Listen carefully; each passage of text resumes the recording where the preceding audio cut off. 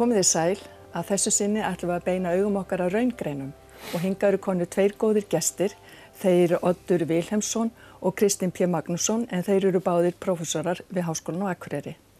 Velkonir. Já, takk fyrir sér. Mér langar til að byrja því að spyrja ykkur því að það er ekki allir sem vita hvað eru raungreinar. Þannig að þið myndu bara byrja því að svara því því að það eru margir sem ekki hafa verið í háskóla. Já, ég myndi bara spyrja, spyrja hvað eru vísindi? Og uh, vísindi eru ekki einn svona hátilega eins og menn halda held ég. Um, ég menna við þekkjum það báðir. Við um, erum að telja, við erum að skoða og, og það sem fyrir auðvitað ber og svo gerum við ykkur hugmyndir um að sjáum eitthvað samingi í náttúrunni. Til dæmis þetta hérna, heldur þetta sé, er þetta bakteríur? Þetta líkist bakterím. Já, reyndar. Það vísur aðeins Þetta er starra. grjót, ég, við erum nú líffræði þannig, að þetta er ekki, þetta, þetta er sko, þetta er eitthvað sem jarðfræði gera og ég gíska að þetta sé bakalútur. Það er Um, rétt. já.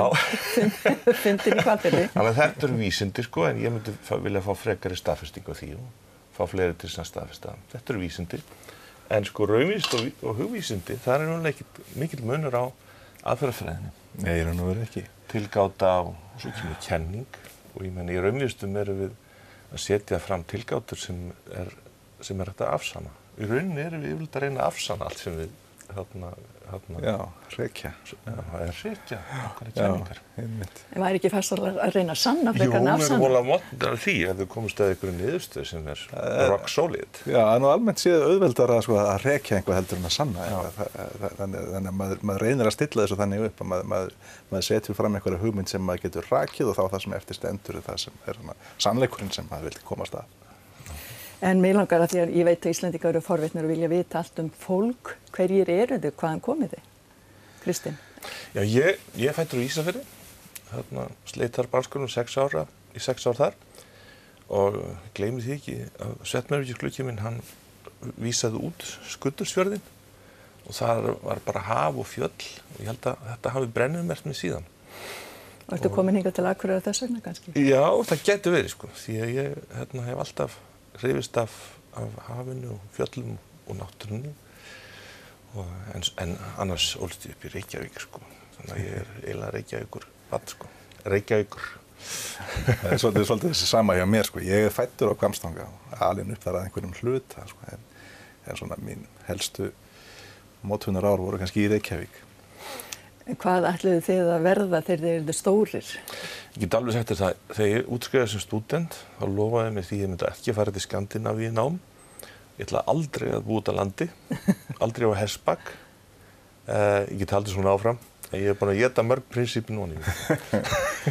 Þegar ég var strákur þá vildi ég vera stjórnufræðingur. Það, það var Já. það sem að vakti fyrir mér. Ég var- Stjórnmálafræðingur? Stjórnufræðingur. Stjörnufræðingur. Ég var alveg heitlaður af, af stjórnufræði og hérna, tunglferðum og. En þú ert nú komið svolítið í það áttina núna með þínu rannsóknum. Já, já, já, já, vissulega. Ég er að, að, að, að hérna, huga að, könnun Mars sérstaklega. Þannig að þinn draumur að hluta til hefur ræst. Já, hann er eiginlega svona, já, það er svolítið merkilegt að ég, eins og ég segi, þegar ég var lítill langar með að vera stjórnufræðingur en svo gerist eitthvað þegar maður eldist og ég fór að læra eitthvað allt annað og var, var hérna, örverufræðingur. En svo bara, eh, já, gerast hlutir einhvern veginn og þannig að það fjalli í skaut mér þetta tækifæri að starfa við, eh, við könnun gamesins aftur, þannig, eða, eða, hérna, þannig að það var mjög, mjög skemmtilegt. En hvað lærðu þið?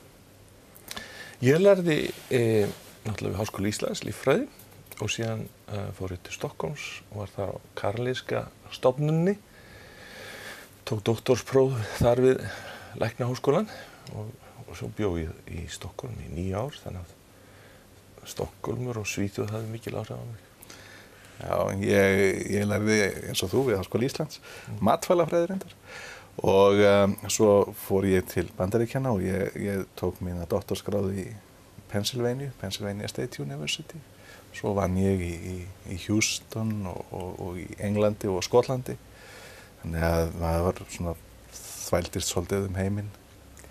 Nú eru fleiri og fleiri farnir að taka allt sitt nám hér, hér á landi. Hver er ykkar skoðun á því að að þið farið hína leiðina, farið semst til útlanda? Hvaða gildi hefur það fyrir þessa þjóð að fólk fari víðar heldur en bara kannski til Reykjavíkur og taki doktorspróð þar?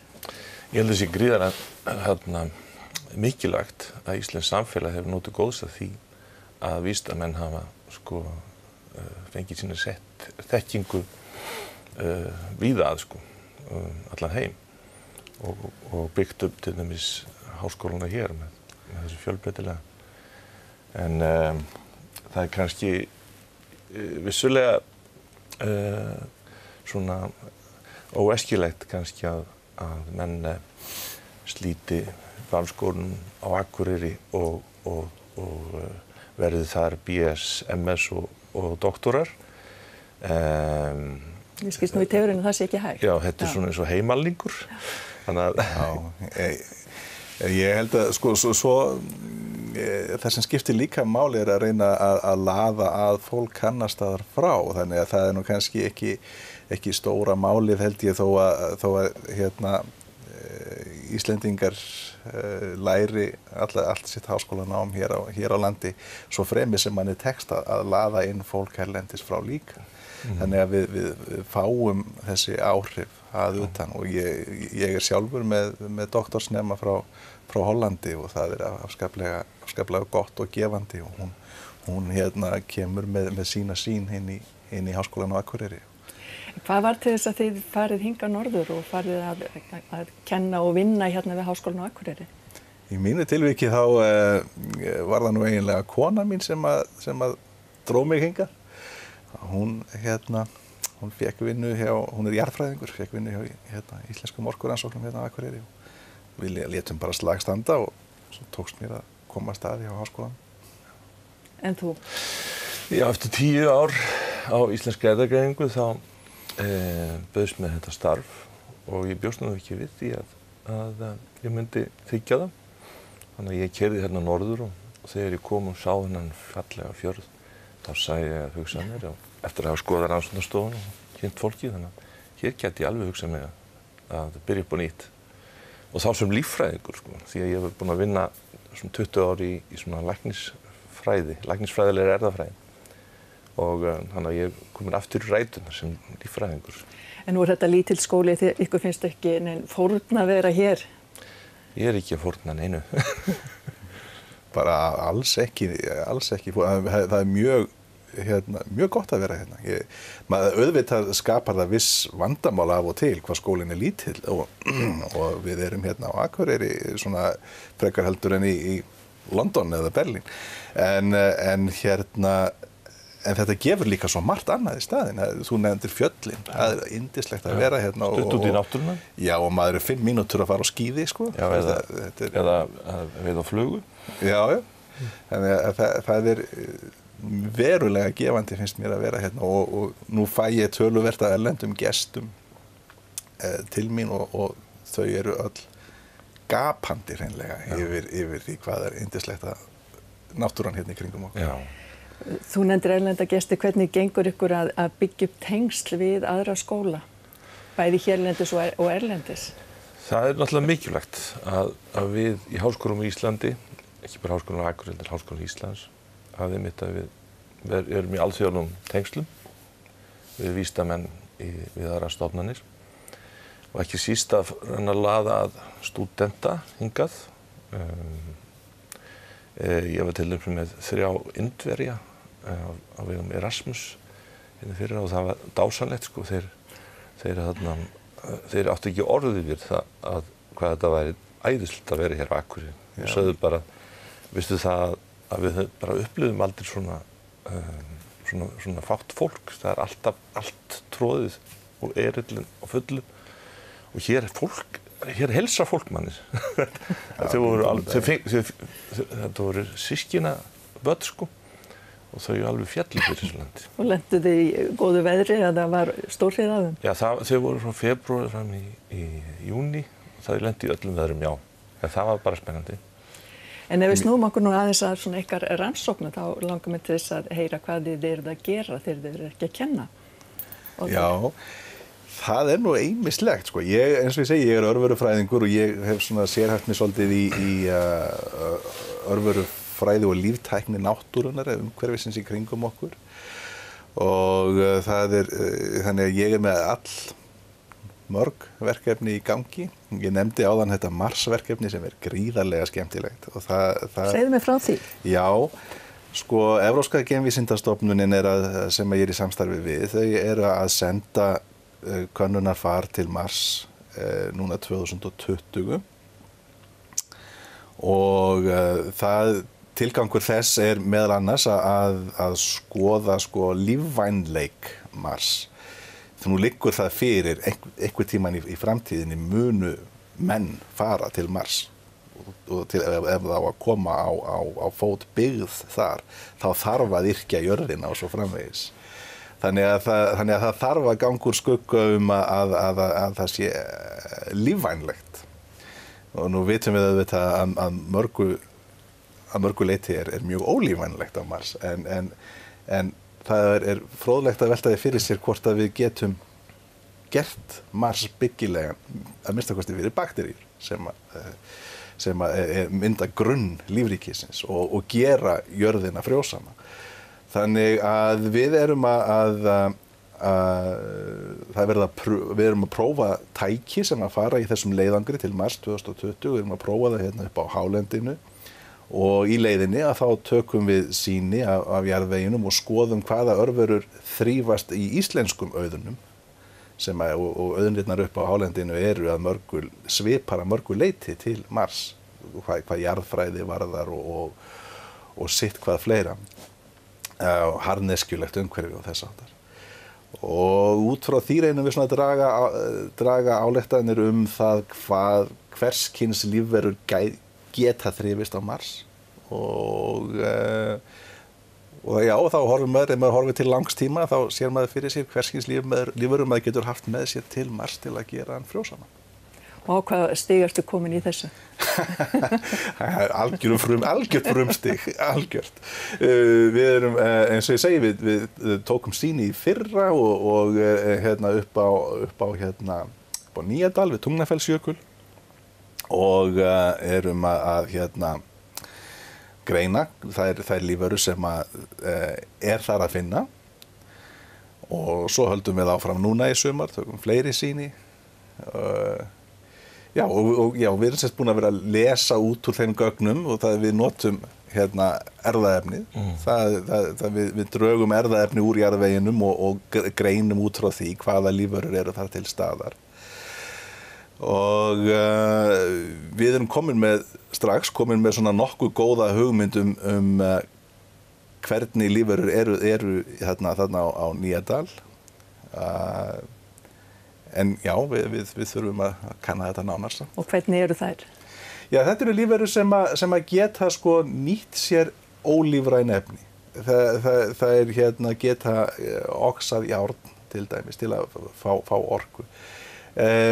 E, og það geta, geta líka ljóstillífað þannig að, að það því umhverfið er náttúrulega mjög snöytt það, það, það er, er í lengin jarðvegur sem hægt að tala um. Þetta er svona bara bergmulningur. Uh, urð bara. Uh, þannig að þannig að til þess að, að, að lífverður geti þrifist þá, þá þarf allavega einhver hluti þeirra þarf að geta nýtt sér steindirna til, til, til vakstar og það verðist vissulega að vera. Við, við þykjumst geta að lesi það út úr þenn gögnum sem við sjáum að stór hluti af lífríkinu er færum um það.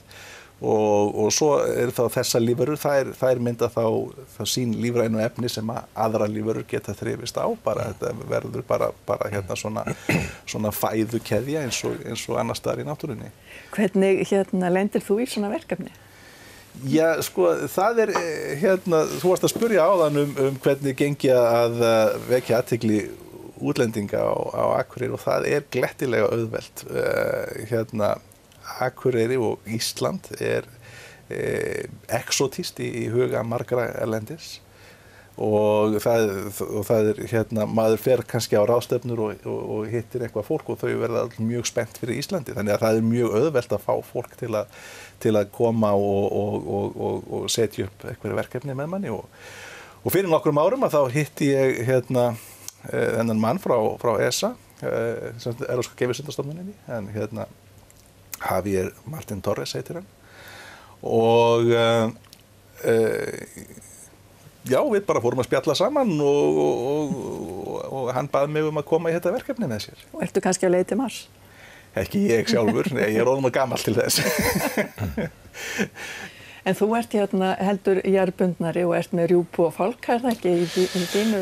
Jú, ég náttúrulega erðagrein, erðafræðin er mín sérgrein og, og það er nú doldið merkil með erðafræðina sko að alveg gríðarlega framfærir í erðafræði þessi áraðin og áratvíina og það er verið að segjast einhver stærsta vístu afreg mannsins var að raðgreina erða mikið mannsins. Og uh, þar sem ég var nú að, að, að skoða um, gen mannsins, krabbamenns gen og sjúkdómsgen og líka tægi og, og þá, þá um, hafði ég góða reynsla af þessu og er með þetta þessa þekkingu því að erðafræðin er eins tæki til að skoða hvaðina og það er náttúrulega ekki nota bara í, í læknisfræði eða líffræði heldur líka er að nota því í, í, í CSI, að nota því í forðlegafræði og, og, og, og það er umvel ekkert svið þarna um, um, vístasvið sem hefur ekki orðið fyrir innráðs erðafræðinars.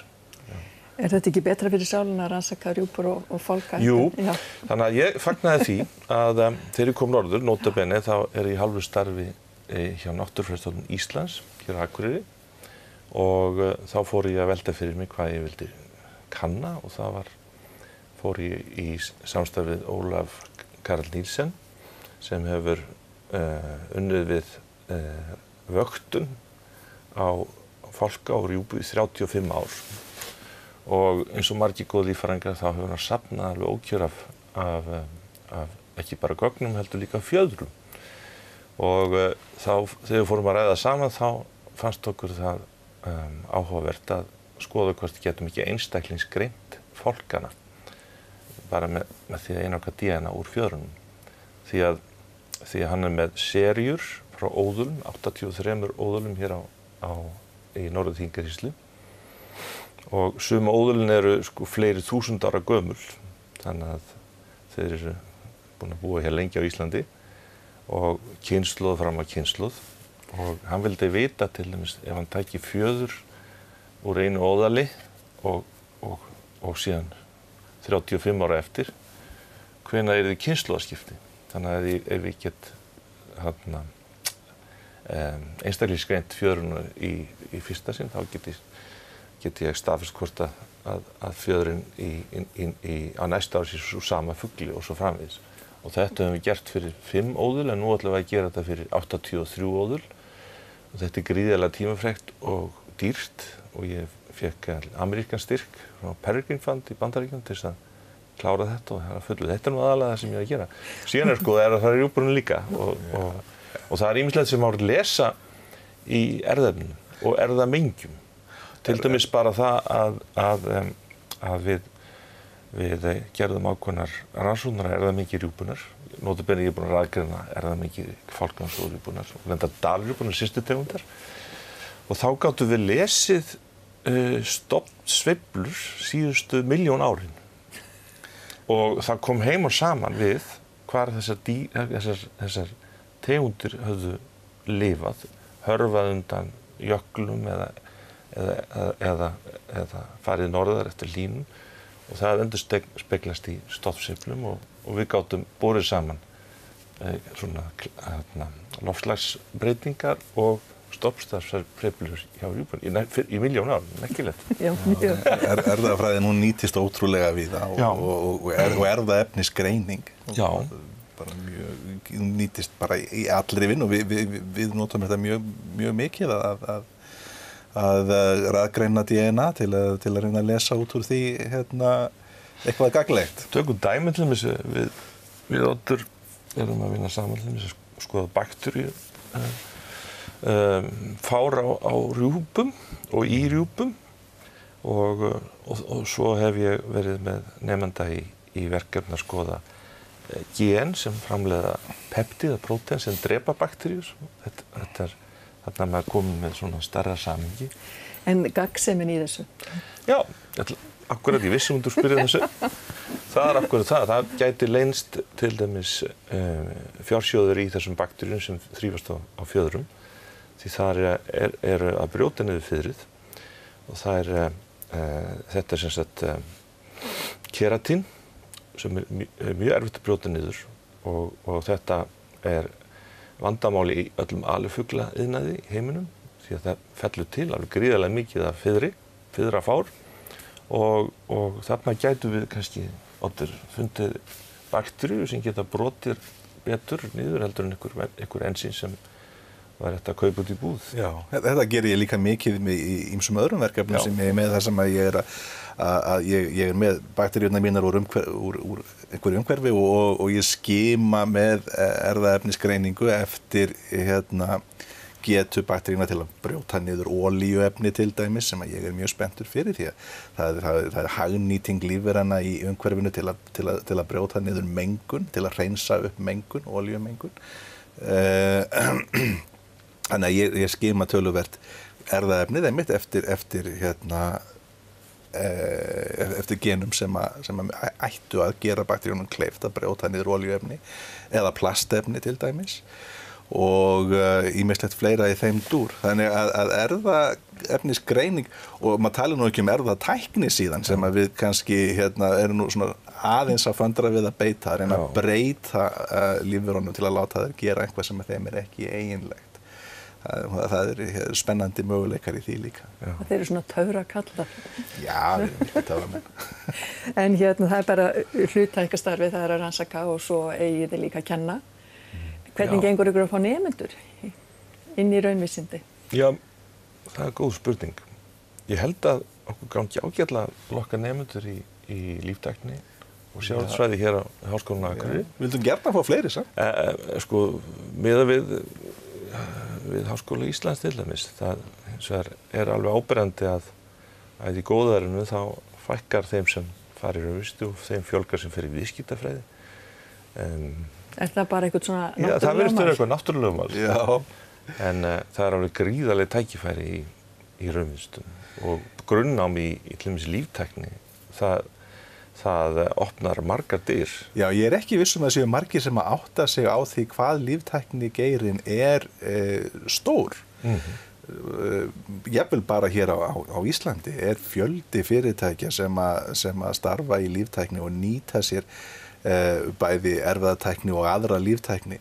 E, það, það, það, maður var hægt að telja auðvitað erðagreining náttúrulega sem að þú nefndir áðan, íslenska mm. erðagreining en svo er, er við með orflíftækni sem að, sem að, sem að hérna notar erðabreitt bygg til, til framleiðslu Til að framleiða snirtuförur Já, já, svo er það genís hérna á siglufyrði mm og, og, og, og matís og fleiri og fleiri, það, það er fjöldin allur af líftækni fyrirtækju þannig að ég held að sko atvinnu möguleikar fólks sem að útskrifast úr líftækni eru bara verulegir.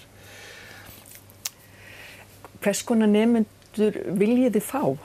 Hvað, hvar þar styrkur minna líka til þess að, að falla inn í raunvísin? Ég vil fá áhuga saman nefnendur Já, fyrst og fremst áhuga saman um, og það er líka, það sýnir sig að þeir sem sinna námanu best eru er auðvitað þeir sem mann finnst mest væntum.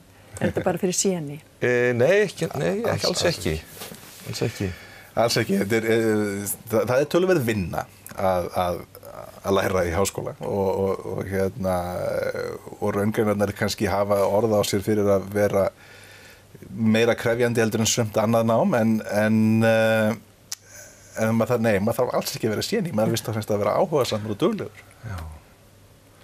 Þetta er mertað sem mjög lógist Já, og, já. hérna, og varðandi sko undirbúning það er auðvitað auðvitað gagnast það nefnendum að hafa góðan undirbúning í, í starffræði og eðlisfræði og, og svo framvegis. En, en, en við höfum verið með nefnendur sem að hafa komið af, af félagsfræði brautum og hafa staðið sér mjög vel. Já, unnið það bara upp. Já, já Nú er við búið að stitta framhalskólan, þannig að uh, unga fólki er að koma enni yngra inn í háskólan. Hvað uh, finnst ykkur um það, ef þið hugstuðum ykkar gera?